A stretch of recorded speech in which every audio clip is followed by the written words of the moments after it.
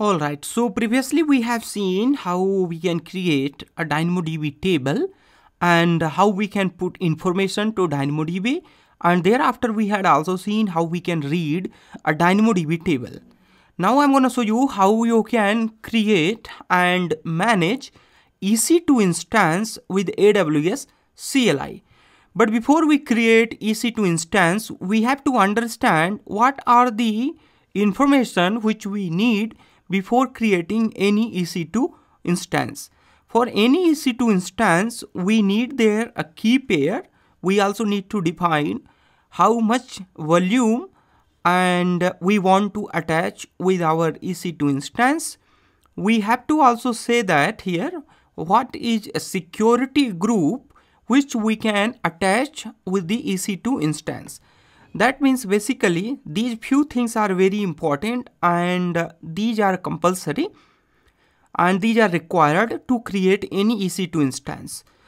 Uh, there is a you know the easiest way to create EC2 instance just by clicking here launch instance but since it is uh, our lecture on how we can create it with AWS CLI, I'll be uh, showing you and telling you we will be needing security group, key pairs and volumes. So the first of all, we are going to create here a key pair and then we will create security group and other required things.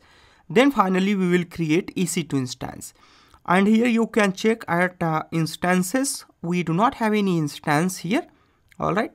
So this instance page is empty here. After some time, once we create it with this CLI, you will be able to see your EC2 instance here.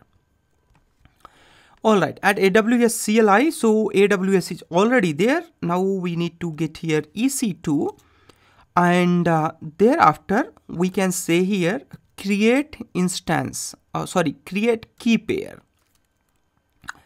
Alright, so there is EC2 and then we are gonna say here create key pair and then we have to assign what is a key name which we are going to create here.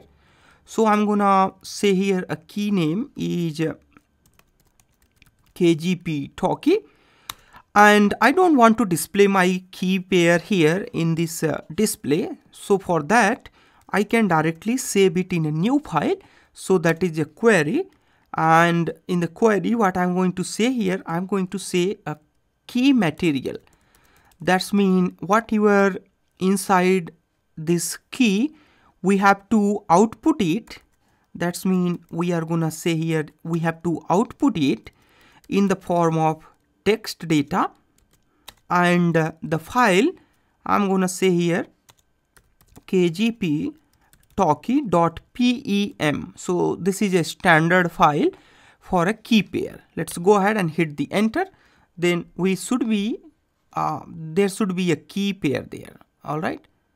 All right. It says that key pair KGP talkie is already exists. So what I'm going to do here, I'm going to save the key pair.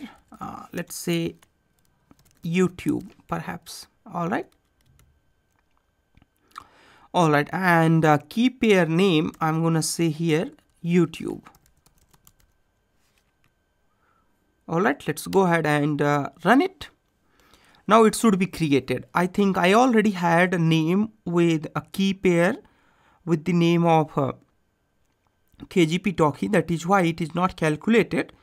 So there is key pairs. Now if you click on this key pair you should be able to see here this youtube. And this YouTube key is just created. Alright and what we can do we can delete these because I don't need these alright let me type this delete here. So those key pair two key pairs are uh, deleted. Now I don't need those. They're uh, YouTube. Alright so this YouTube key pair we had created from here. Now if you want to get the information about this key pair from this uh, um, AWS CLI itself, we can get. But before that, we have to, you know, we have to get the permission, uh, this private uh, file, we have to set here a permission. All right, so we are gonna set here read only permission with ch mod. All right.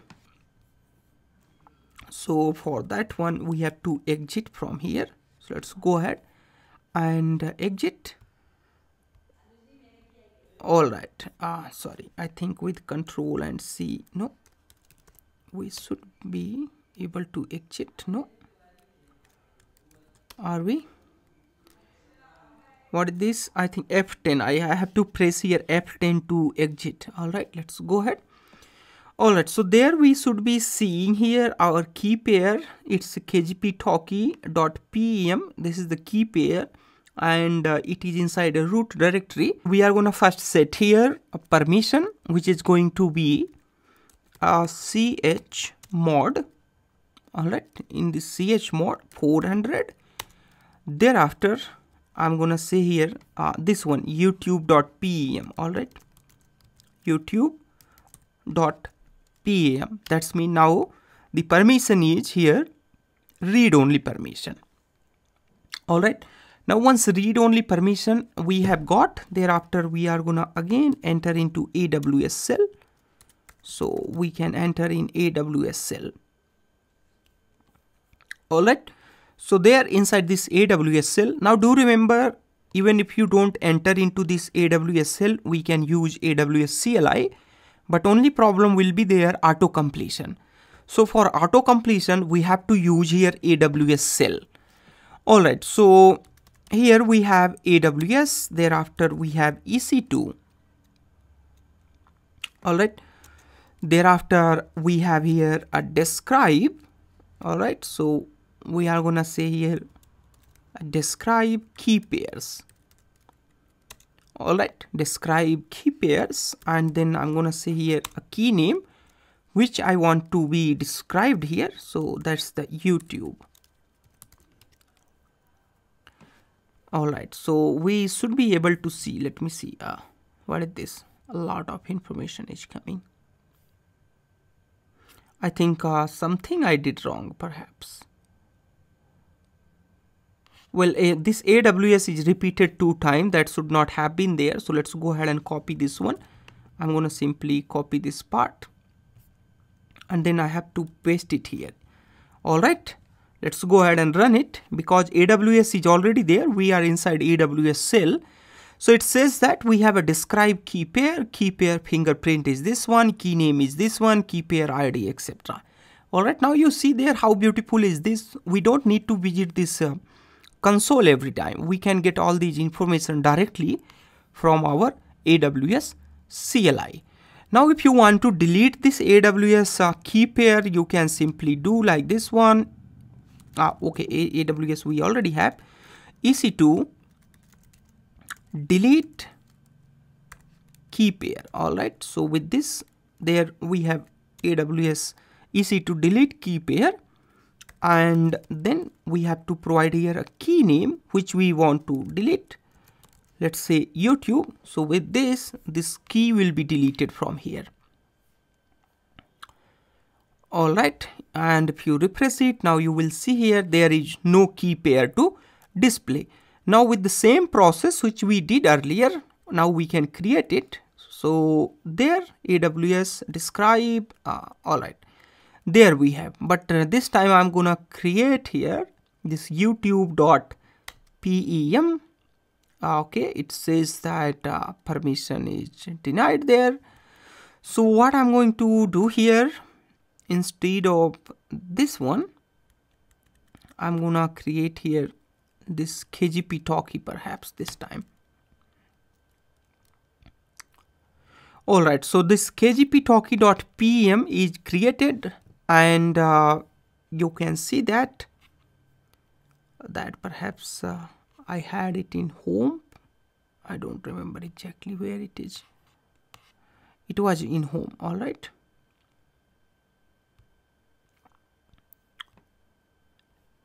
so it's there. All right kgp and this youtube we had deleted from internet. So i'm also going to delete it from here as well. It was created here today. All right 1021 and yes it's just created some times ago.